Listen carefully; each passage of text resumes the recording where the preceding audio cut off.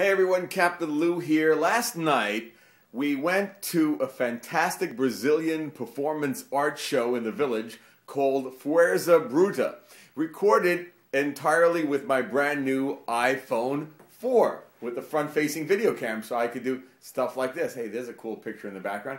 Anyway, I downloaded a new app that I feel is better than iMovie. It's called Splice for the iPhone. And so I put this presentation together of the best moments of last night's show. Enjoy. It's called Fuerza Bruta.